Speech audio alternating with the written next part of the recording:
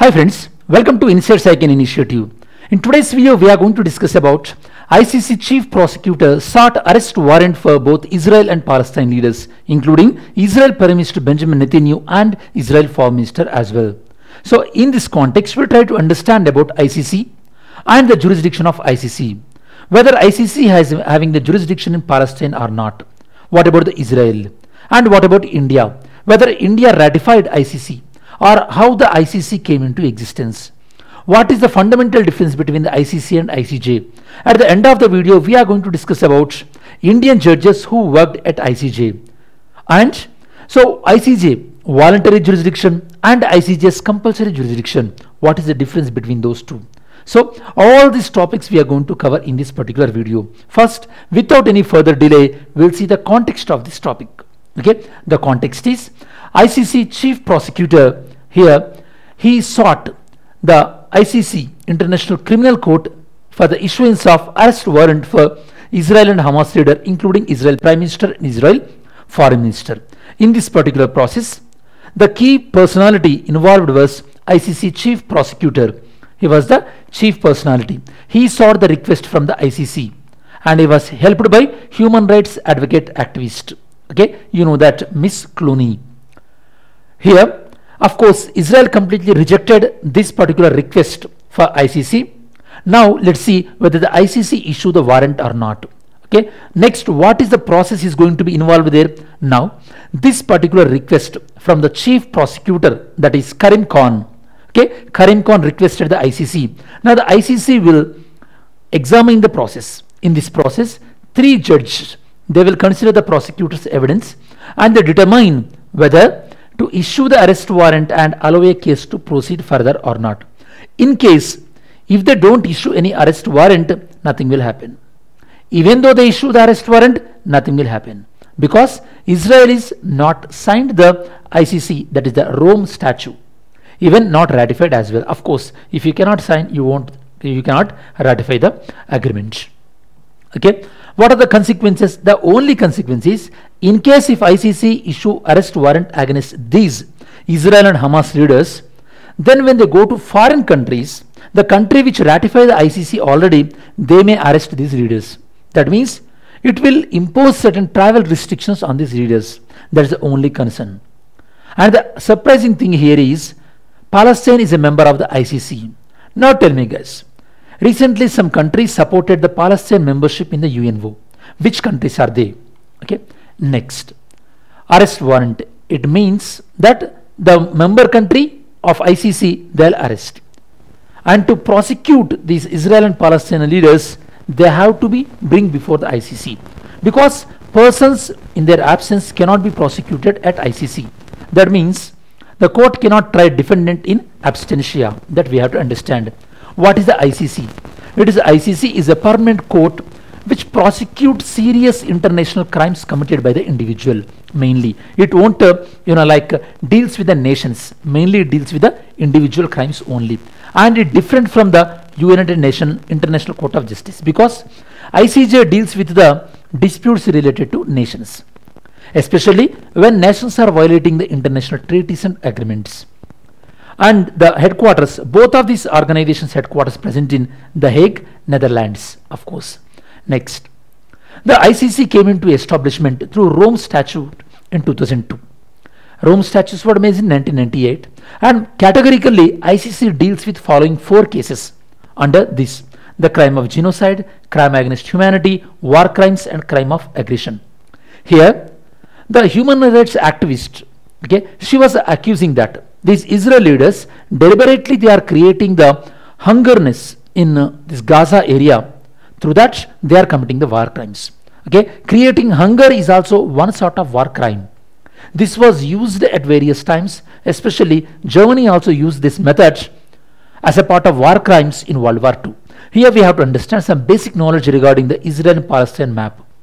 Actually, Palestine consists of two separate territories one is the West Bank, the other one is the, the, the one is the Gaza, the other one is the West Bank. Here we are mainly talking about the Gaza. Because Hamas, which is carrying activities from Gaza, they done attack on the south part of Israel like seven months back. From there onwards, ongoing conflict is happening between the Israel and Gaza. The Gaza Strip is sharing the border with the Mediterranean Sea, and of course, it is also sharing with one of the peninsula of Egypt. What is the name of that peninsula? Comment in the so comment section. Next, let's see the membership. Member countries in ICC are 123 countries. India, China, Iraq, North Korea, Turkey, they never signed the Rome Statute. Forget about the ratifying. US, Russia, Israel, and Syria, they signed but never ratified. I already told you in polity classes that even though India signed any agreements, those agreements have to be ratified by the parliament. Then only it means we officially accepted that particular agreement regarding the finance. ICC gets mainly funding from the member countries. The cap on the member country funding is 22 percentage. That means a country cannot give more than 22 percentage of the ICC's total funding. It is mainly to avoid one country dominance. But nonetheless, ICC mainly dominated by the advices given by the United Nations Security Council or cases forwarded by, forwarded by the United Nations Security Council. That is the reason India never accept the ICC and ICC jurisdiction. Total number of judges are 18 and the duration of each judge is 9 years term. Next, the way how the investigation will be opened in ICC, it can be done in three ways, three ways possible. The last possibility we are discussing that is a chief prosecutor can request the ICC to start the investigation that we are discussing now here. Here the chief prosecutor is Karim Khan. There are two more ways that is UN Security Council may recommend the ICC to start investigation or else country which already ratified the ICC they may request the ICC to start the investigation. These are the possible three ways through which ICC can start investigation or issuing the warrant. Then criticism of the ICC. Of course, one of the criticism is the trial is taking too long. If you look at here, for the last 19-20 years, they are able to convict only 10 persons. That is a very low conviction rate.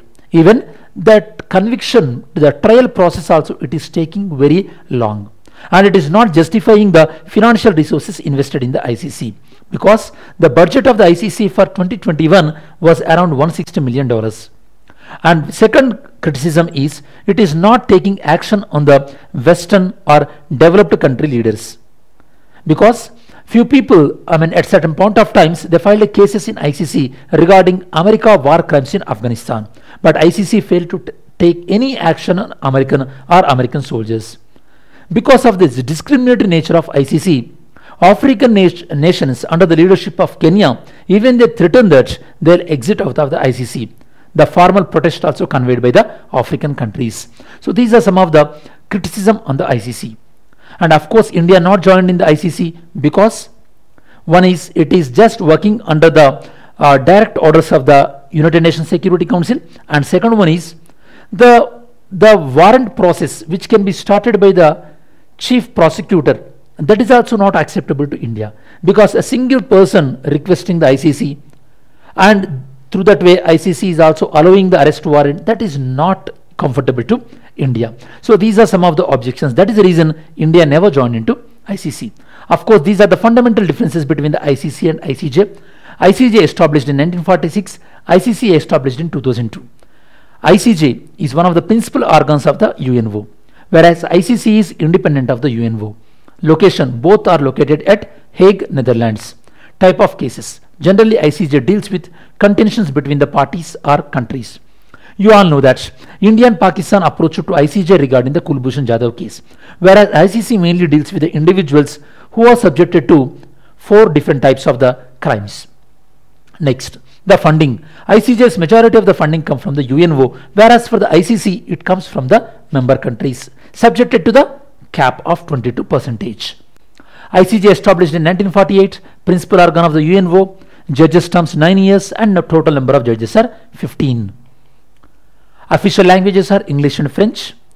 ICJ voluntary jurisdiction or compulsory jurisdiction both are there. Voluntary jurisdiction means if both the parties approached voluntarily to ICJ then ICJ will involve or else sometimes ICJ jurisdiction will already included when countries are or when companies are making the agreements. At that time compulsorily those parties have to approach to the ICJ. That is the compulsory jurisdiction of ICJ. And India is a party to ICJ. So whatever the decisions or judgments given by the ICJ, they are binding on India. Okay. And following are the Indian judges who represented at ICJ at different point of times. Benegal Rao, Benegal Narasimha Rao, B.N. Rao, 1952 to 53. Then Nagendra Singh, R.S. Pathak. At the moment, Dalveer Singh Bhandari is representing India in ICJ. Okay, Indian judge. There is speciality regarding the B.N. Rao regarding the constituent Assembly. What was the speciality related to B.N. Rao in the constituent Assembly? Comment your answer.